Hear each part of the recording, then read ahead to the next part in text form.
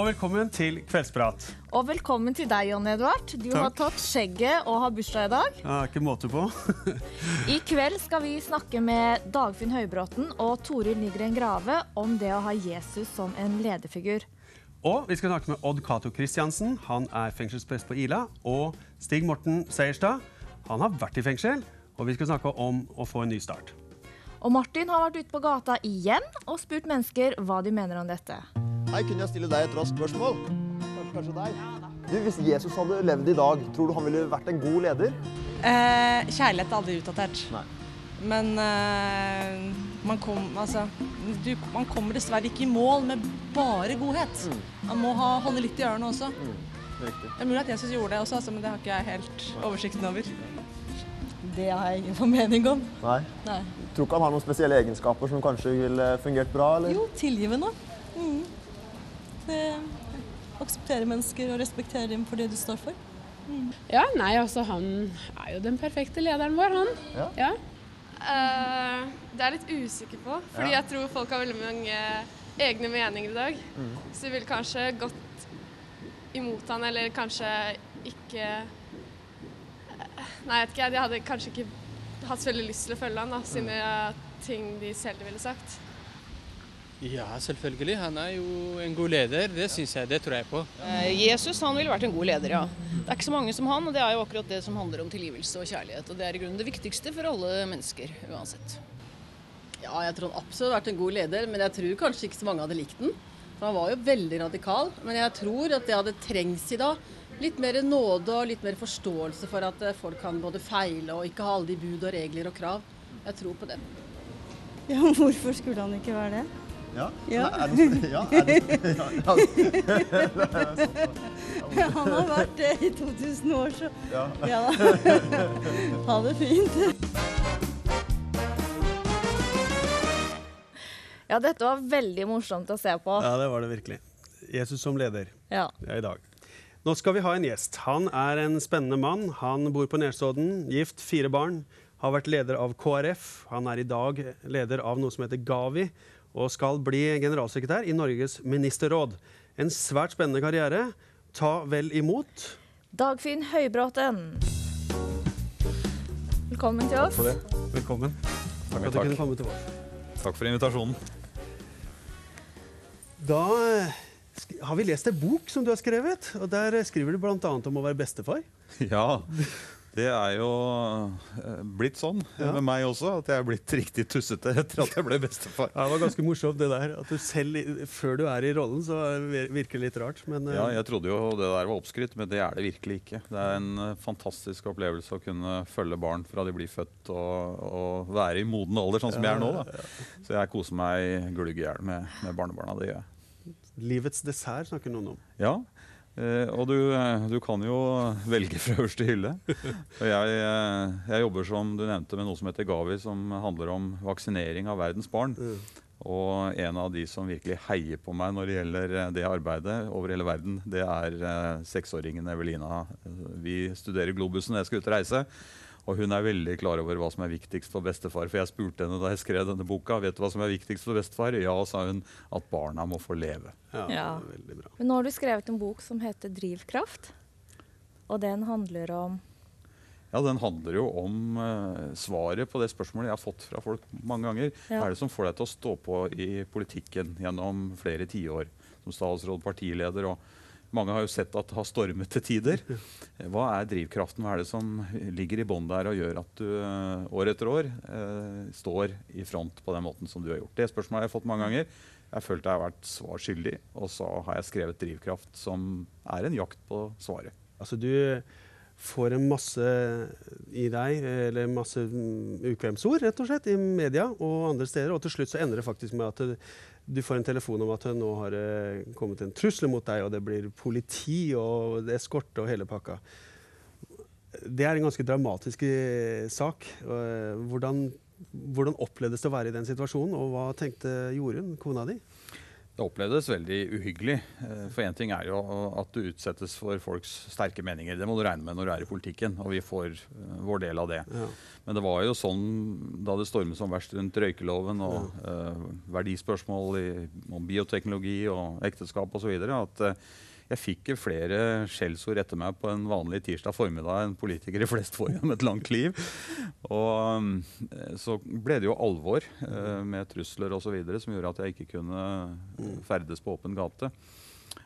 Og du føler at friheten blir veldig innskrenket. Jeg følte meg aldri redd. Jeg følte meg trygg, men det er ubehagelig. Og det verste er egentlig at som du antyder, det går utover de rundt deg. Eh, og de, eh, de kan jo ikke gjøre noe til og fra. Det er ikke de som står i front, men de bærer veldig mye av, eh, av belastningen.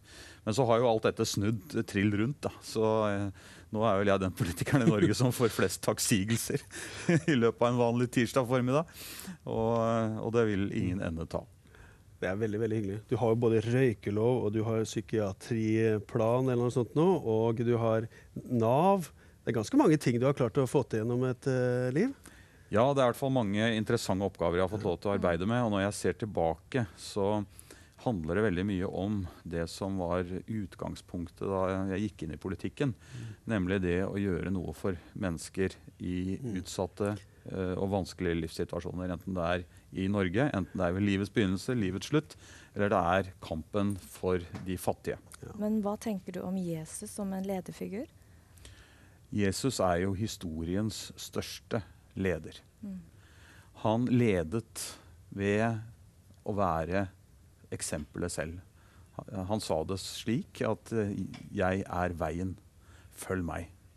Det er det sterkeste uttrykk for integritet noen leder kan uttrykke. Mm. Og det er egentlig det eneste lederprinsippet som fungerer i praksis. For hvis ikke lederen går den veien han vil at sine medarbeidere, sine etterfølgere, skal gå, så får han det ikke med seg. I hvert fall ikke i et moderne samfunn. Jesus samlet noen få rundt seg som han bygde vennskap og relasjoner med. Det var hans team. Og når han ikke lenger var der, så var det det teamet som faktisk gjennomførte prosjektet hans. Eh, så det var en veldig kraftfull ledermodell. Og den er jo årsaken til at vi sitter her i dag. Jesus han starta jo ingen organisasjon eller kirkesamfunn, eller noen sånne ting, men du sier han starta med noen venner. Du snakker om at du hadde noen nære venner. På et eller annet tidspunkt så på en måte realiserte du, eller sa, skjønte du at det, Eller du sa til kona jeg har ikke så veldig mange nære venner. Mange bekjente, kanskje. Jesus hadde på en måte tre, og så hadde han tolv, og så hadde han 70. Hvordan, hvordan eh, fungerer dette, eller hva, hva tenkte du rundt det? Jeg ble utfordret på dette. Jeg så mennesker som, eh, som satset på vennskap. Og jeg eh, sa til Jorunn, kona mi, at eh, jeg vil ha en sånn krets av venner rundt meg som jeg kan stole på i tykt og tynt. Ikke bare bekjente som møtes en gang og gjør noe moro sammen. Det er veldig bra. Men også venner som jeg kan stå til ansvar for. Som kan si hva er det som foregår i livet ditt nå?' Eller som kan være der når det virkelig røyner på. Og så inviterte jeg noen til en sånn liten gruppe. Og vi har møttes ukentlig nå i 24 år. 24 år. Eh, og vi har eh, delt det aller meste. Eh, både høydepunktene, det har vært mange av, men eh, det har vært aller viktigst å være der i bunnpunktene som vi alle har hatt til heldigvis forskjellige tider. Noen av de reformene du har stått for, bl.a. Nav, har eh, fått mye kritikk etterpå. Eh, den opprinnelige ideen med Nav, hva var det, og hva tenker du i forhold til hva det har blitt? Jeg har skrevet litt om, om dette i boka. Eh, Den uh, ideen har vært og er at uh, enkeltmennesket skal slippe å løpe fra kontor til kontor, men møte én dør, én skranke, ett telefonnummer og én kontaktperson inn i systemet. Uh, og så eh, var det jo slik at eh, jeg la fram planen. Den ble vedtatt. Og så eh, gikk regjeringen Bondevik II, og det ble andre som fikk ansvaret for å gjennomføre denne svære reformen. Og det har jo klødd i fingra eh, hos meg noen ganger i løpet av den tida for å være med på å gjennomføre. For jeg syns gjennomføringen ikke har vært etter boka. Ikke etter den planen vi la. Det har, vært, eh, det har blitt for mye system for systemets skyld. Man har ikke satt de beste folkene i front der man møter publikum, men man har eh, trukket dem ut i spesialenheter som sitter og behandler papir, Mm. og etter hvert uh, mer elektronikk. Men fokuset på det enkelte mennesket syns jeg har glippet i gjennomføringen av Nav-reformen. Men jeg, jeg har nå brukt min posisjon i Stortinget til å pirke borti det fra tid til annen, og jeg syns det går bedre nå. Saksbehandlingstidene går ned. Og jeg syns uh, den nye ledelsen i Nav har, har fått mer dreis på det. Jeg har tro på reformen, selv om det tar tid å snu sånne svære supertankere som trygde- og arbeidsforvaltningen er. Hvilke lederegenskaper er det som Jesus har, som inspirerer deg til å utføre ting i hverdagen? Det er vel først og fremst uh, det som har med integritet at, at Jesus sier at 'følg meg'. Og hvis man kan si det, så, så står man jo for og gjør det man står for. Eh, men så syns jeg også at eh, Jesu tjenersinn, det at eh, han bøyer seg helt ned til de aller minste, det er, kanskje det aller mest inspirerende for meg. Og, og du vet at når alle andre spørsmål er stilt, så er det ett spørsmål som står igjen, og det er hva gjorde du for disse mine minste søsken? Og i mitt arbeid internasjonalt, få lov til å være med nå og sikre vaksiner til de fattigste barna i de fattigste landene, det handler om nettopp det. Det handler om eh, å redde Ja, fram til 2015 ville vi redde 20, eh, 4 millioner barns liv i eh, et 70-talls land. Eh, og vi vet at det kommer til å være ryggraden i de landenes eh, liv framover. Disse, disse barna som blir reddet fra den sikre død. Det er jo enormt. Det er svært. Eh, jeg har ikke vært i nærheten av, gjennom 40 år i politikk og offentlig virke, har jeg ikke vært i nærheten av noe sterkere, noe mer meningsfylt enn dette. Når jeg ser tilbake og, og ser på hva har inspirert meg mest, hva har ligget der helt nederst i annen underetasje, hvor jeg av og til har måttet vært nede og kjent etter når jeg har røyna på. Hva er det som driver deg? Hva er det som inspirerer deg? Jo, det er denne tanken at hvert enkelt menneske, uansett fattig, rik, uansett liten, stor, uansett svart-hvit, eh, alle er like verdifulle og uendelig verdifulle. Og det å redde ett liv, og det å redde fire millioner liv, det er, det er å gjøre noe for de minste søsken. En av de tingene som jeg har tenkt på når jeg har lest boka di, det er jo at eh, det var jo ikke en autostrada rett inn på Stortinget og hele veien inn der. Eh, både tap i nominasjon på loddtrekning og eh, Jeg har jo liksom tenkt at eh, Dagfinn han har vært på Stortinget i 28 år og hele pakka der. Men det har du jo ikke. Nei, jeg har bare vært der i snart åtte år. Men jeg har vært i politikk i, i nesten 20 i tillegg, utover de åtte. Så det blir nå 30 år til sammen. Så det er ikke rart at folk eh, har det inntrykket. Men eh, det er riktig som du sier, det har ikke vært noen, eh, noen enkel vei. Det har vært eh, en ganske tornefull vei. Men jeg sier nå takk for rosene langs veien, takk for tornene. Hva gjør det med deg når du kjenner at det, det Nei, nå ble jeg på en måte vraka med 180 stemmer i Oslo. Eh, hva, hva gjør det med deg i forhold til Gud og kall og meningen med livet? Hva tenker du om det? Jeg tror egentlig at alle tap vi opplever som mennesker, uansett om det er tap av en nær venn eller en far, som jeg opplevde i veldig ung alder, eh, eller tap av en politisk posisjon du trodde var din, som jeg også har opplevd, det er eh, noe som først er vondt. Eh, og det må vi kjenne på og tillate oss å kjenne på. Men så er det jo en mulighet til å rydde litt i hva som er viktigst i livet. For meg var det særlig når jeg mista faren min, og når jeg samtidig tapte en nominasjon på loddtrekning.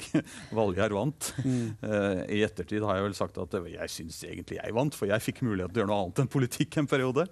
Men, men eh, det som var aller viktigst, det er at jeg lærte noe om hva som gjelder. Hva som gjelder når det, når det kommer til stykket. Det er ikke jobben eller posisjonen i dette tilfellet som er viktigst. Det er mitt forhold til Gud. Det er mitt forhold til mine nærmeste, min familie. Det er det som teller mest. Og jeg bestemte meg ut av det at uh, jobben skulle aldri bli viktigere enn de viktigste relasjonene. Dagfinn, da er det sånn at vi har boka her på Visjon Norge. Og du har sagt deg villig til å signere boka til alle de som kjøper i kveld. Det skal jeg gjøre. Så da er det bare å ringe inn. Jeg skal i hvert fall ha en signatur. Nå skal vi ha en annen gjest, eh, men jeg håper at du kan bli sittende litt til. Sånn, eh, det blir en spennende samtale om Jesus som leder. Vår neste gjest hun har jobbet som coach i flere store bedrifter. Hun har utviklet et eget eh, lederutviklingsprogram. Hun jobber også som eh, coach i Filadelfias Philadelphias lederskole. Og hun er gift og har tre barn. Og da ønsker vi velkommen til Toril Nygren Grave. Velkommen til oss. Takk. Ja, velkommen. Hyggelig. Toril, du har uh, vært på fest og skåla for uh, Høybråten. Fortell oss om det. Stemmer det. Dette var um, ikke så lenge etter at uh, røykeloven ble innført. Jeg var ute og spiste med noen tidligere kolleger som hadde vært veldig negative eh, når du begynte å snakke om røykeloven. Det var mørkemann og det var fysj. Men nå var røykeloven implementert, og vi satt på en restaurant, nøt et deilig måltid mat uten røykelukt. Da kom det. Skål for Høybråten! Det var morsomt. Jeg var med på den. Oi, ja, ja, så bra. Det er bra. Du er coach. Det er jeg. Ja, Hva er coach? En coach er uh, en samtalepartner Jaha. som eh, ikke gir råd. Ikke en veileder. En samtalepartner som um, stiller spørsmål, lytter um, og utfordrer mennesker til å leve i tråd med det som er viktig for dem selv. Ikke mentor Ikke mentor og ikke rådgiver, men og ikke veileder. Kan, kan alle bli coach? Coach er dessverre ikke en beskytta tittel, så alle kan kalle seg coach. Og det er jo en utfordring for seriøse aktører på markedet. Um, men det finnes, eh, eh, det finnes en organisasjon som heter International Coach Federation, som er uavhengig og Mm. sertifiserer på tvers av de ulike utdannelsene. Um, så da Jeg sørger i hvert fall for å få en sertifisering derfra ganske tidlig. Hva gjør at du kan være coach? Det er et godt spørsmål. Um, når jeg tok min coachutdanning, så tok jeg den egentlig for å få eh, papiret på en kompetanse jeg trodde jeg hadde. Det hadde jeg ikke. det skjønte jeg. Det var en rude awakening. Um, for å være en god coach så har jeg eh, avlært meg den vanlige måten å være til stede i en samtale. Hvor man bringer inn mye av seg selv. Mm. Jeg fikk en idé. Lytter mens man egentlig venter på å snakke selv. Det gjør ikke en coach. Aktiv lytting på en annen måte. Ja, og kanskje enda mer stille enn aktiv lytting. Kona mi er coach. Ja. så jeg sier hun har jo veldig høy kompetanse, for hun har jo coachet på regjeringsnivå i mange år. Ja. Hun jobber profesjonelt med det. Eh, men personlig så har jeg gjennom veldig mange år eh, hatt en person som jeg må kunne kalle en mentor. En som er eh, enda mer voksen enn meg. Og som jeg har kunnet diskutere, tømme meg for når det har vært nødvendig. Spørre til råds. Så han har nok vært mer av en mentor enn en coach, Ja. men til meget stor hjelp. Jeg tror det er veldig avgjørende når man er i topplederposisjoner, at man har noen som man kan diskutere helt fortrolig med på et profesjonelt nivå. Jeg tror det er uh, sunt for enhver toppleder å, å ha noen som uh, kan se en litt utenfra. For en kan i perioder bli veldig opptatt av sitt eget perspektiv. Uh, kan til og med få tunnelsyn. En kan tro at alt dreier seg om meg, og det gjør det heldigvis ikke. Eh, og da kan det være greit at noen eh, forteller en det. Altså. Jesus var jo en samtalepartner og er en, eh, en rollemodell på en måte i forhold til både som menneske, altså, menneske og leder. Startet ingen, ingen organisasjon, altså, men uh, flere ting. Er, bruker du Jesus i jobben din? Det er et uh, utfordrende spørsmål. Um, når jeg coacher, så bringer jo ikke jeg noe inn i samtalen. Annet enn den jeg er med de spørsmålene jeg stiller.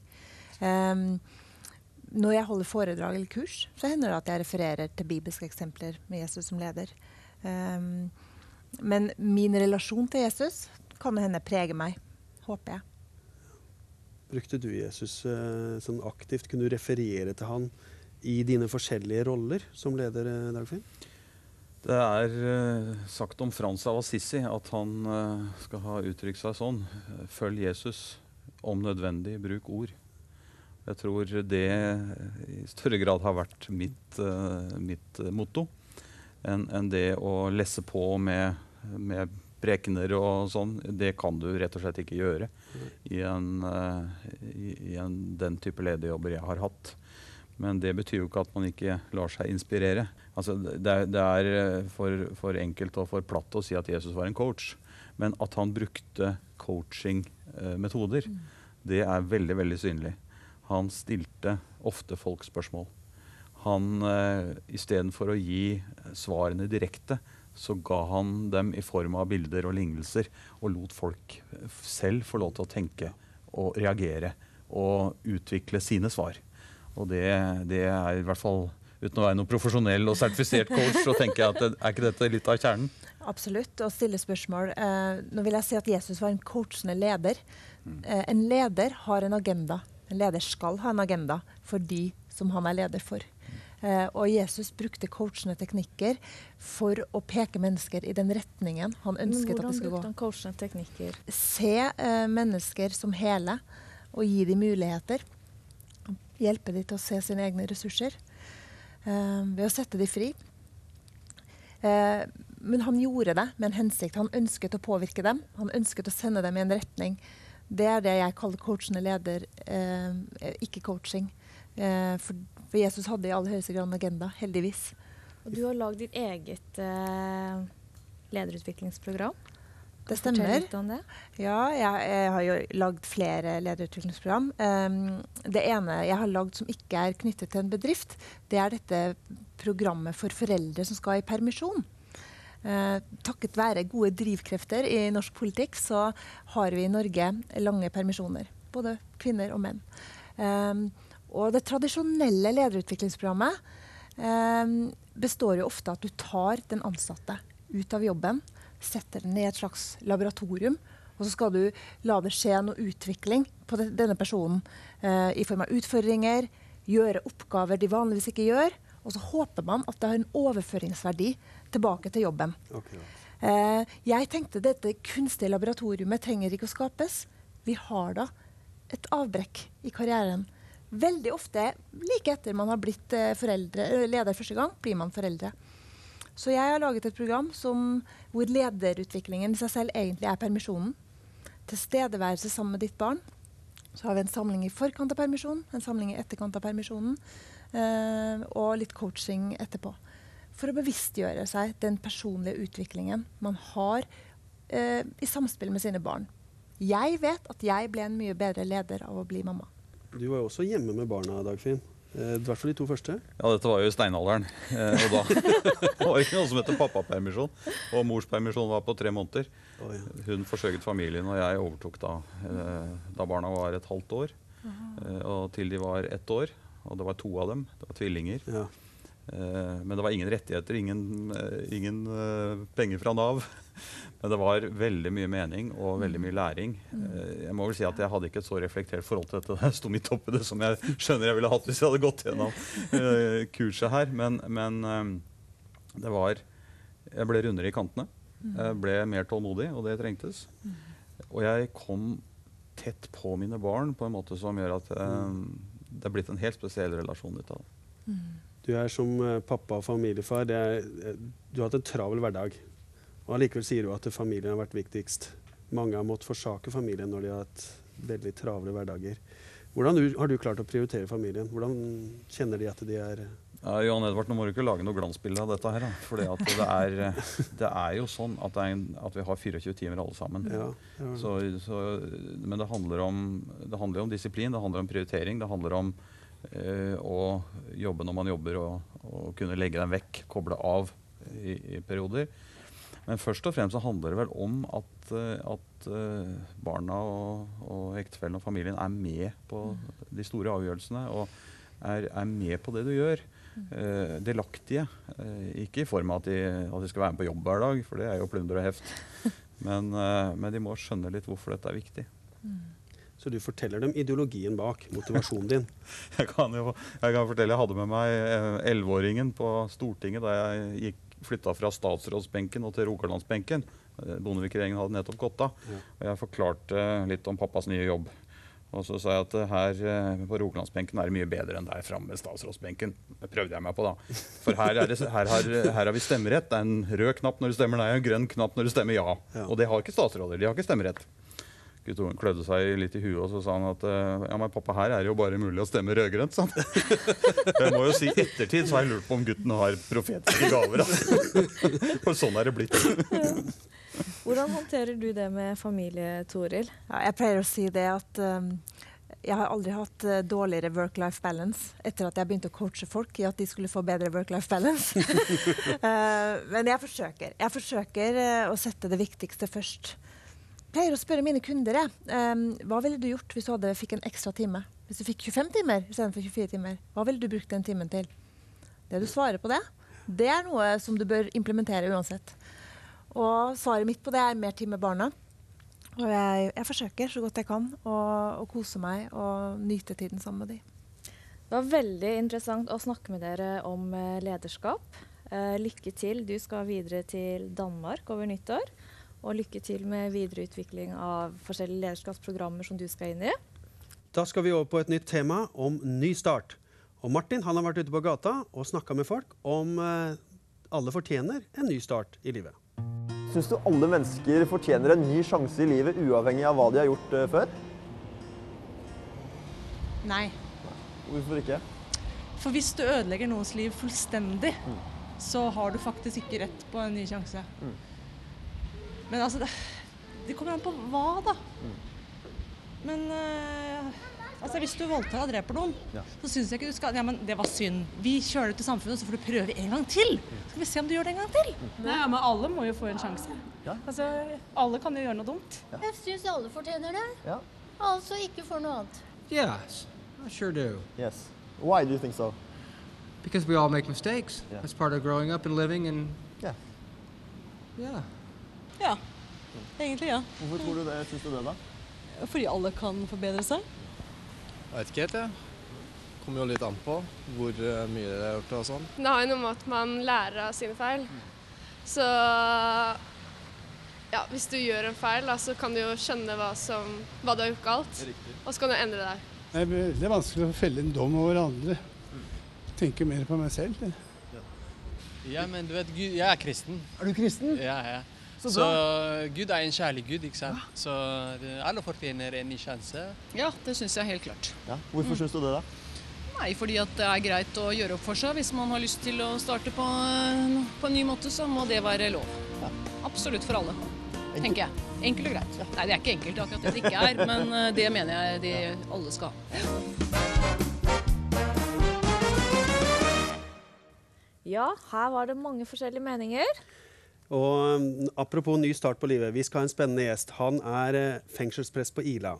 Han har jobba med fengsel i Oslo før, og han har vært prest i både Brumunddal og på Solør. Og han har en, tre barn og er eh, en vel bevandret mann også iblant rusmiljøet i Oslo. Og da Ta vel imot Odd Cato Christiansen. Velkommen til oss. Takk skal du ha. Hyggelig. Velkommen, velkommen. Tusen takk. Ja, du vokste opp i Brumunddal?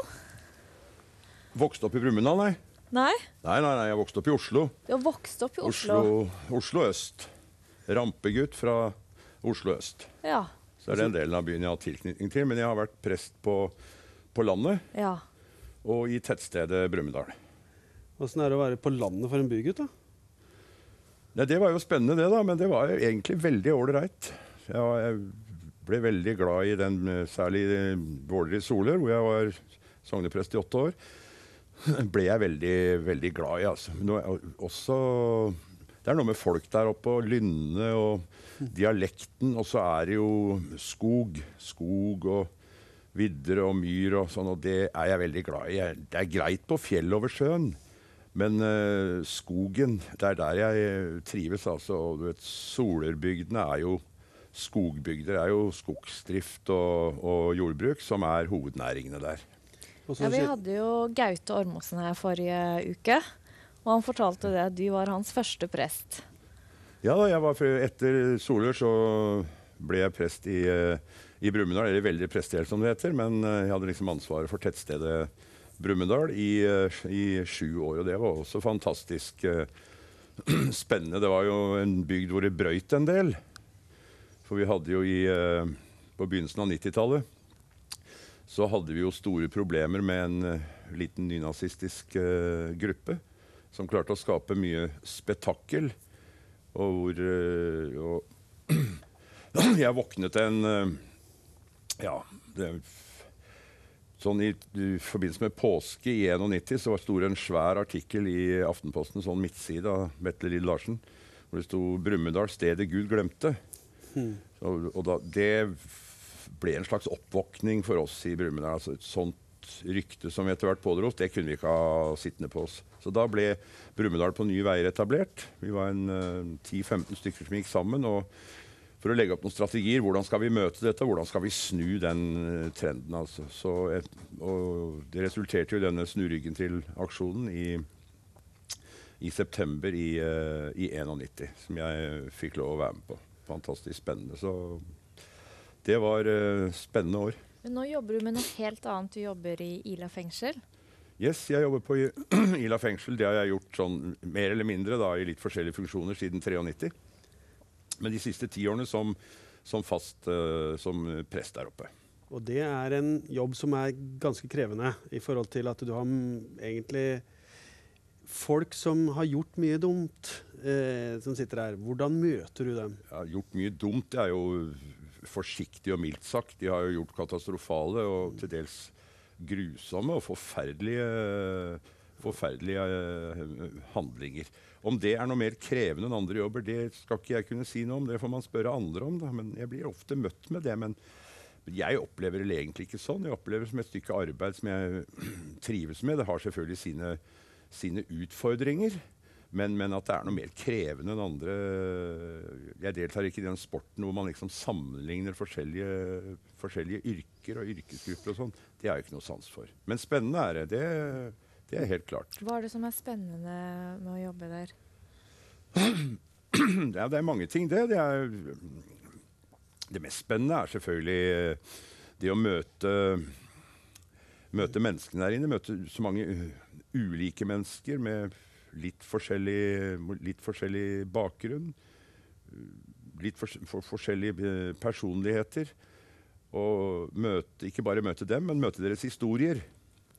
Det er eh, spennende og utfordrende. Være en medvandrer gjennom et ganske sånn kronglete landskap. Eh, og da tenker jeg på livet, på livet deres. Det er, eh, det er spennende. Altså. Så er, er det spennende å bli kjent med, med mennesker over tid, fordi de sitter såpass lenge på Ila. Du vet at uh, aller fleste møter jo de som blir dømt til uh, ubetinget fengsel eller forvaring. De, møter, de fleste møter jo de gjennom uh, avisspalter og gjennom bildene fra, fra TV-skjermen og sånt. nå. Og det blir veldig ofte enøyd. Mens, mens jeg som kommer tett innpå en god del mennesker, lærer jo at et menneske er noe mye mer enn sånn som det blir, blir fremstilt ut fra hva de har uh, gjort. Altså Mediene er nok i stor grad med på å skape en del mennesker i, i det derre skurkebildet, altså. Og, og holder de fast i det skurkebildet. Jeg har det privilegium at jeg får lov å møte hele mennesker.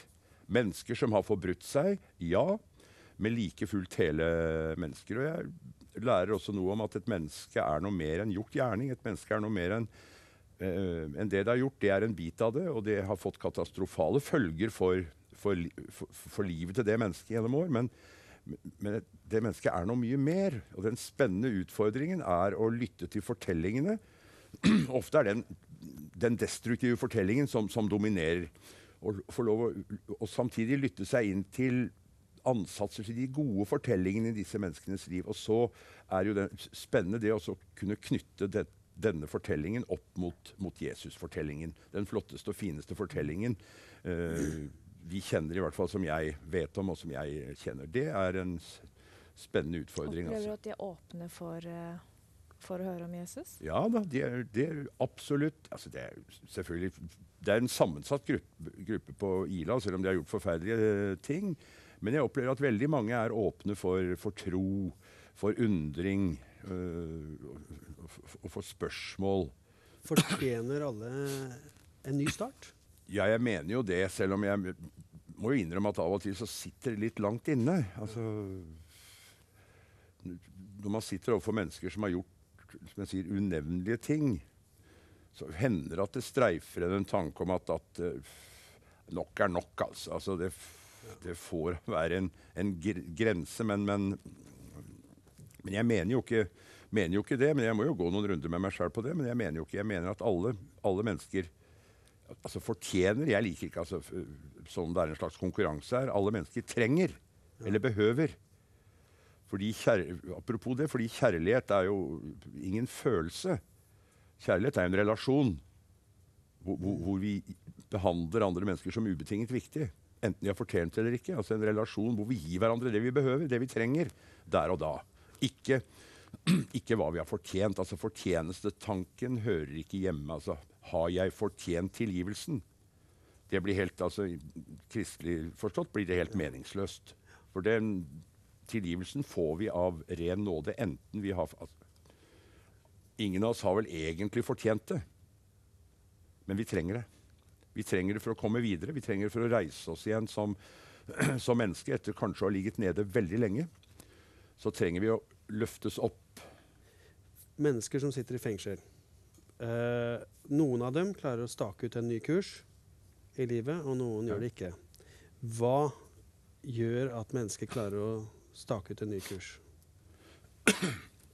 Jeg tror det viktigste er at, at noen, noen, tror på dem. Ja. Noen tror at Noen tror at det nytter. Denne gangen gjelder. Om det så skal være 10-15 ganger. Jeg har jo opplevd at mennesker har gått på trynet gang på gang på gang. Har reist seg igjen, gått på trynet, mm. skrubba seg opp til det ugjenkjennelige. Og så kanskje den tiende gangen så har det blitt stående. Så har de reist, virkelig reist seg igjen og blitt stående. kunnet gått videre. Ofte handler det om at man får et nytt verdigrunnlag. Andre, okay. andre verdier. På en måte andre vegger i livet å lene seg mot. da. Ja. Det, vi klager jo av og til over at det er så lavt under taket i kirken. Liksom at Det er så lummert og så trangt og, og sånne ting. Og det, det, ja, altså det er jo ikke det det handler om. Hva som er over oss, det, det er samme søren. Altså, om de så river takene og himmelen hvelver seg over. Det er jo grunnen under våre føtter det handler om. Om det bærer. Akkurat. Om det tåler tyngden ja. av våre liv. Ja. Av hva vi, hva vi, er og hva vi har gjort og sånt noe. Det er det som uh, Ja, det er det som teller, og det som gjelder, altså. Noen snakker om at det er en del selvfordømmelse ute og går. Uh, og at det nærmest blir som et fengsel. Eller, tog, eller uh, i seg selv kanskje mm. er det en mental sperre for å komme livet, videre i livet. Eller jeg fortjener ikke engang Guds en ny sjanse hos Gud, eller nærme meg Han. Ja, hvordan tenker du, eller hva er det Gir det resonans i forhold til eh, hos, eh, hos de fangene som du kjenner? Det er noen ikke så veldig mange av de jeg har møtt, men noen som, som uh, mener at gjennom det de har gjort Det forutsetter selvfølgelig at de har en, en eller annen gudstro i bånd. Men at, at, det de har gjort, det er så grovt at det plasserer de utenfor, utenfor mulighetene, altså utenfor mulighetene til tilgivelse. Og, og, har vel da et ganske sterkt bilde av Gud som den, som den dømmende Gud. Og det er lange, altså Hvordan møter du, møter du det? Der duger ikke så veldig med ord. Dagfinn Høybråten sa jo noe om uh, altså at vi det handler om å gå, altså vandre med mennesker, og om nødvendig bruke ord. Og vi lever jo i en ordkirke. Ja, det, altså, vi, det, det, det foss koker over av ord. Altså. Jeg er mye mer opptatt av handling, eller det å gå sammen med, være hos, i, i ulike livssituasjoner, og enten du er oppe eller eh, nede. Og, og gjennom det kanskje formidle noe av Guds kjærlighet. Noe av Jesu kjærlighet. Så, så vil kanskje det under skje en dag, da. At, at, at, dette mennesket tør å ta til seg at jeg er faktisk også et tilgitt menneske på høyeste hold. Men det, men, øh, det tar tid, og det nyt- nytter ikke å si til et menneske som sitter og føler Nei da, du er ikke, du skjønner, du er, ikke, du er jo ikke det, da. Det står i Bibelen sånn og sånn. Du er Altså, det, det blir nesten, blir nesten opplevd som en, som en krenkelse. Altså, det er jo ganske lettvint å si, men gjennom å vise at du ikke snur ryggen til dette mennesket. At du fordømmer ikke dette mennesket, du snur ikke ryggen til dette mennesket, men du går de nødvendige mil, eller du går den annen mil med. Det er vel kanskje den fineste måten å beskrive kjærlighet på. Den annen mil. Om noen ber deg gå én mil, så gå, gå to, altså. Vi skal snakke mer med deg, men nå skal vi få en ny gjest i studio. Og Det er en spennende person som uh, sjøl har sittet i fengsel i sju år. Han er 34, han har fire barn, kommer fra Snertingdalen nord for Gjøvik, jobber i Maritastiftelsen og i Monsterbedriften, og også sammen med politiet. Ta vel imot Stig Morten Seierstad. Velkommen. Takk skal du ha. Velkommen hit. Takk skal du ha. Hei. Hei. Det var hyggelig at du kunne komme hit til oss. Ja takk, det var veldig koselig å få komme. Du kommer rett fra Hamar nå. Ja, vi har, eh, jeg og min kommende svigermor har akkurat henta en som akkurat har sittet i fengsel, som har sluppet løs i dag, så han skal komme og bo hos oss. Ja. Du tar med deg tidligere innsatte inn, hjem. Ja. Det er, det er jo litt raust. Ja, altså raust. Det er vel først og fremst Trond og Gunn Akerholt som har jobba i det her siden i all tid. Som alltid har gjort sånn. Og jeg var så heldig at når jeg kom ut, så kom jeg til dem gjennom at Trond hadde møtt meg i fengselet. Og fulgt meg gjennom hele den veien. Eh, Så jeg kom til noe som var en drømmesituasjon. Jeg hadde søkt det her i mange andre områder. Det å kunne hatt et fritt og åpent hjem, og jeg søkte veldig mye utenlandske miljøer. Mm.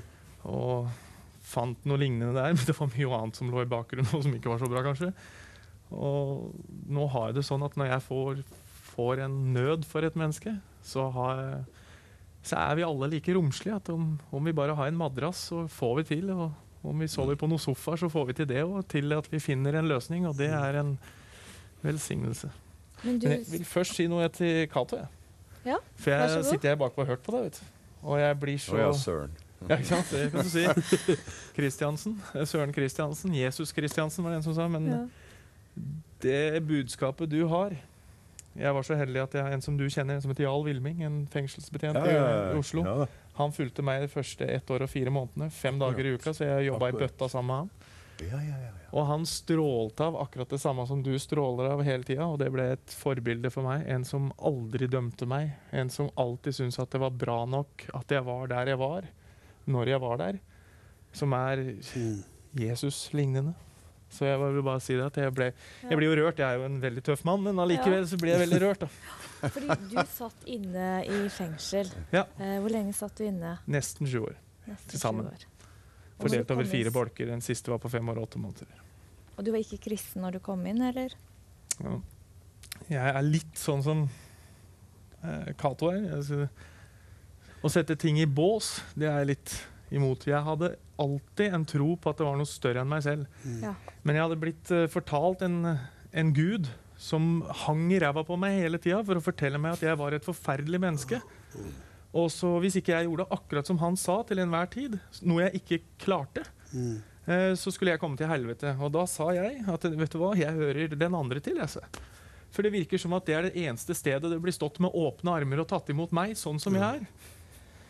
Ja, Men så fant jeg ut da, at, eh, at eh, For jeg sa jo også alltid at jeg kan ikke tro at noe som har skapt oss, som går under betegnelsen kjærlighet For hvis jeg kjenner til det brøkdelen eller det lille fragmentet jeg klarer å få med meg av en altomfattende kjærlighet, som jeg kan ha i et skrøpelig form til et annet menneske Så det siste jeg vil, selv om det mennesket gjør meg litt vondt eller gærent, er jo å ønske det til et helvete. Ja. Jeg vil jo at det mennesket skal allikevel, på tross av, skal ha det så bra som mulig. Og det var det eneste jeg liksom satt igjen med. Men bekjennelsen min kom som omtrent med Jesus, for derfor han omga seg med kvinner. Uh, han, som det står. Han omga seg med kvinner, står det. på en tid der kvinner ikke var så veldig mye verdt. Og jeg, jeg kan skjønne hvorfor, for at de har en annen vinkling på ting enn oss mannfolk som er veldig sånn etter, vi, vi, vi, har, vi har en forståelse og vi har en visjon og vi har en plan. ikke sant? Mens kvinner er jo følelser i alle mulige retninger. og det da var det en kvinne som sa til meg, mens jeg fortsatt var i det gærne miljøet, for jeg gikk med all slags symbolikk som viste at jeg var fra et helt annet sted. Ja. Altså pentagram og 666. Og ja, bare for at jeg, jeg var så motstander av, av den derre domsguden. Doms, uh, mm. Men så sa jeg det en gang til henne. Nei, du veit jo det, sa jeg til henne, at jeg hører jo den andre til. Så sa hun nei, nei, Stig Morten, det gjør du slettes ikke, sa. Og det var bare én setning. Og så ble jeg liksom helt parkert. Jeg klarte ikke å si noe. Jeg begynte å tenke, og jeg begynte å Og så begynte jo prosessen, da. At når jeg, jeg begynte å innrømme alt før jeg kom inn i fengsel, og ringte etterforsker selv. Ja, for det er jo litt spesielt. Det er ikke så veldig vanlig. Nei, og hvis, hvis du hadde gjort det, så hadde Sittbil og fortalt det, så ville du jo sett deg på, sett på deg som ganske dustete. Ja. Det var det nok mange som det hadde nok, en, eh, eh, formening om. en Ja, det er ganske vanlig vanlig blant innsatte. det. Altså, du, du, all right, du får gjøre for det du har gjort, men, eh, eller det du har blitt tatt for. Mm. Men det andre, det får så være. Altså. Så det er, det er ganske flott, men ganske sjeldent. Så det begynte da, som sagt, med at jeg ringte en etterforsker, og jeg var på sirkulæret. Vet dere hva det er? Nei. Det betyr at eh, politiet er eh, ute etter meg. Mm. Oh, ja. Så jeg ringte han etterforskeren likevel og sa hør her, du, jeg har en deal til deg. Jeg skal innrømme alt du finner på meg, eh, hvis du ikke arresterer meg. For jeg hadde en At jeg skulle ta vare på ei jente da, som jeg hadde jeg trodde jo at jeg var en liten frelser i meg sjøl, så jeg tenkte jo at hvis jeg åker inn, så kan jo ikke hun det gå bra med henne. Jeg I små I min lille tro på meg selv, da. Men Det er sånne, det er sånne monstertanker som vi av og til får. Ja, ja. Jeg er ikke ukjent med det, jeg heller. Nei da, vi er hvis, ikke, hvis vi gir oss, så går verden under. Ja, jeg skjønner ikke. Altså, hvis jeg ikke er på jobb ennå Jeg bryter meg jo på jobb om jeg har feber eller hva som helst, for at jeg er jo helt sikker på at da begynner det å kollapse med en gang. Ja, ikke sant? Så er det ofte litt motsatt, at det kanskje får et nytt pust. Men allikevel, da, så hadde jeg jo den tanken, så jeg ringte han, altså. Begynte jo Han sto for avtalen sin. Det er ganske unikt. Men så, så jeg begynte å innrømme. Så det var en begynnelse av en prosess, og så, så ble det en styggere sak som kom etterpå, som jeg også gjorde. Og så øh, var det jo på alle førstesider og alt mulig at de hadde sett, og at jeg var da virkelig under eh, etterlysning. Så da brøyt jeg jo den kontakten, og så prøvde jeg så lenge jeg kunne, og så hadde jeg en drøm. Mm. Om, eh, så jeg sa til hun dama at du veit at jeg kommer til å bli arrestert, og dette her kommer til å bli hardt, og det er en eller to veier. Eller det er to veier, da. Men hvis vi skal velge noe som skal ligne på noe kjærlighet, så nytter det ikke å gå på den her lenger. Fordi at det vil bli, bli bryte i stykker i alle retninger hele tiden, og vi vil Ja. ødelegge alle forutsetninger. Og det, er- vi klarer ikke å pleie det her fra en celle eller på flukt eller i rus eller alt det dritet som det fører med seg. Da. Og så Vil du fortelle om drømmen? ja, så drømte jeg at det kom et titalls politifolk fullt bevæpna og tok meg ned. Og det fortalte jeg at nå blir vi arrestert, for jeg har Nei, altså, jenter Nei, nei, nei, nei, nei, nei slapp av! Kommer ikke til å skje! Så jeg kjørte opp igjen og jeg hadde ordna meg en svartjobb. så, så jeg hadde sagt ifra til han arbeidsgiveren at jeg kan ikke være noen steder. jeg kan ikke synes. Så jeg reiv loft i gamlebyen. Helt i mørket, helt aleine hele dagen. Og så kjørte vi opp igjen på ettermiddagen, så ser jeg politibilen står plassert et sted. Så det, er- det er sånn utkikksbil, altså at de står Mm. bare og observerer hvem som kommer. Så sier jeg nå er det den siste. Så jeg gikk inn og dusja. Nei da, det var jo selvfølgelig ikke det. Så jeg hadde dusja og satt meg ned og tok første biten av Grandiosaen min, så da ringte telefonen. Da sto det 14 stykker utafor bevæpna Ja. med skjold og MP5 og skulle, skulle hente meg. Det var en sann drøm, rett og slett. Gud hadde gitt et varsel. Ja, og, Men varselet gjorde jo meg hele tida klart. da. Dette var egentlig, du hadde egentlig begynt å endre livet før du havna inn. Ja. Og, og tenke på at du måtte ha en ny start. Mm. Eh, men disse tankene på en måte fikk du i deg sjøl, men kobla det mot Gud. Mhm. Eh, Altså, det som er så fint sånn, er at i ettertid kan man jo sitte og se fingeren. Ikke sant? Det er Ja. omtrent som det der dikt, eller hva det er, de der fotsporene. Ja, ja, Ja. Ikke sant? Akkurat når jeg gikk der aleine, så kan jeg nok noen ganger ha liksom følt at dette her er jo i min kraft, eller et eller annet sånt, men jeg ble, det eneste jeg begynte å be om når jeg kom, for jeg var jo på totalforbud, ikke sant? Eh, men det var jo så rart, det skjedde så mye under miraklet. mirakler. Jeg kunne ha sittet her dagevis og fortalt om alt som skjedde i løpet av den tiden, som er bare helt sinnssykt når vi ser hvor det er nå. Så. Men, men jeg begynte å, å be, da. Og jeg visste ikke hvordan jeg skulle be. Det var så fint det du sa, at man føler seg ikke verdig, for det var den guden jeg har blitt meg fortalt. Ja. At jeg må fortjene meg til noe. Mm. I stedet for at som sannheten er, det er for ingenting du har fått, og det er for ingenting du skal gi det videre. Det er ganske kraftige ord. Det, det, er I motsetning til å fortelle at ja, når du når det og det målet her, Ja. da skal du komme inn i varmen. vet du. Da er du perfekt, som alle oss andre helliggjorte i våre fantastisk flotte gjerninger. Både i sin hjerte og? Men det, men det, Jeg forsto jo ikke så mye da. Så jeg begynte en smålig bønn, og jeg trodde at jeg måtte be Fader. og Jeg prøvde på det, og det huska jeg ikke helt, så jeg ble jo veldig flau til Gud fordi at jeg ikke klarte å be Herrens bønn. Men så sa jeg jeg uansett, da. Eh, så jeg skjønner at jeg kanskje burde fått meg litt mer enn jeg skrapa på, men kan du være så snill å ta vare på de på utsiden? For jeg visste at det kom til å bli. Jeg kom til å legge alle kort på bordet. Jeg kom til å også fortelle alt og alle jeg har vært involvert med. Ja. Det var én vei å gjøre det her for meg, og det var å gjøre det ordentlig. Og ja, så kunne jeg fortalt mye om hva som skjedde. Og de på utsiden ble holdt trygge. Ja. Eh, og det var bønnesvar. Mm.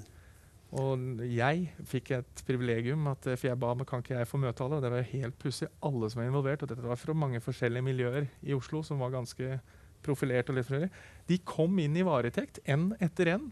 Og jeg møtte dem tilfeldig i en gang eller på et treningsrom, eller et eller annet sånt, så jeg fikk sett dem inn i øyet. Så til, hør her. Jeg har lagt alle korta på bordet, jeg har fortalt alt jeg skal, og grunnlaget at jeg gjør det, er for at nå skal jeg ha et nytt liv. Og jeg tror ikke på Alle anbefalte meg dette må du ikke si, dette må du holde under. Nok Mm, en gang så mm. prøver de å få deg til å skjule det et ja, eller annet sted, sånn at Ja. du kan fortsette å leve i det her. Men det trodde ikke jeg på, så dette, vet du, da får jeg heller bli slått ned, da. Ja, altså, og den gangen her så kan jeg jo fanken ikke løfte handa igjen heller, men da får jeg bare ta den. Og så får jeg reise meg som en mann etterpå, og så har jeg i hvert fall stått for det jeg gjorde. På en ordentlig måte. Vi har snakka om en ny start, og du har snakka om at folk må ha en, noen som tror på dem, og at den kommer ut eh, i en annen verden, holdt jeg på å si, når de er ferdig Ja, sona. men- Men til, altså, til syvende og sist så handler jo om eh, så handler jo det om altså I, i bånn her så handler det jo det om at uh, Gud eller Jesus altså, tror på oss. Ja. At vi er, vi er først og fremst båret av hans tro på oss. Mm. Altså vår egen tro um, det, det sies så mye stygt om den i Bibelen. Der, så det er jo ofte ikke rare greiene. Altså. Og det kan uh, svinge litt og sånt nå. Men så, så det jeg er opptatt av også å formidle til uh, skurkene på, på Ila, det er jo at uh, altså, Mist ikke troen på at Gud Ja. Tror på deg. tror på deg. Ja. Og, bærer, Mm. og bærer ditt liv, altså. Uansett hvilken retning det, hvilken retning det tar. Vi kunne ha sittet og pratet om dette lenge. Vi har dessverre ikke mer tid igjen. Ja, nei, så Da har vi lyst til å takke er for det at dere både kom, eh, at dere egentlig sa mye om Gud, om eh, troen og ny start på livet. Takk for eh, det dere er, der dere er, og takk for at dere kunne komme til oss.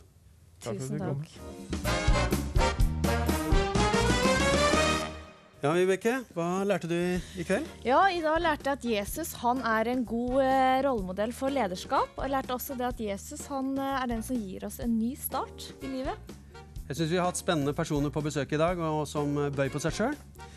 Neste fredag så er Kveldsprat igjen klokken åtte. Da får vi besøk av Knut Arild Hareide og kona, og Anita Valen, en kjent syklist. Da er ikke jeg her, da er Tore Kransberg her. Og jeg er fortsatt her. Og husk å like oss på Facebook. Og, og takk for i kveld. Takk for i kveld. Dette var bra. Veldig.